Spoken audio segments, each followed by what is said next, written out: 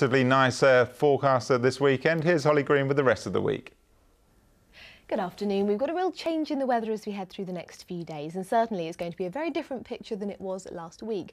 For today, though, it's quite nice out there, some sunshine around, but it is turning much more unsettled, and we have got some spells of rain in the forecast.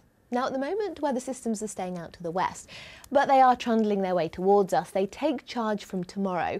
So this low pressure stays in the vicinity as we head really through the next few days towards the end of the week, and that does mean it is going to be quite unsettled. This is the picture then at the moment. We've got a bit more cloud towards the likes of Dorset.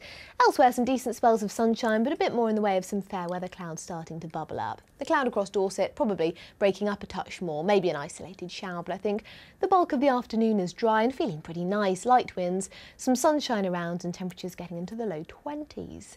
Now into tonight, it's quite quiet initially, some evening sunshine around, but a bit more cloud starts to work its way in. That could lead to a shower or two by the time we get to dawn, and it will feel quite humid, I think, for tonight. Temperatures will be higher than they were last night.